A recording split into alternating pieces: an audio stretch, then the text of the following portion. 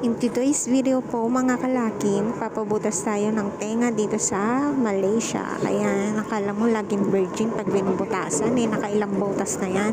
Gawa lagi kasi nagsasara, kaya ayan, lagi pa rin ako nagpapabutas, walang kadala-dala.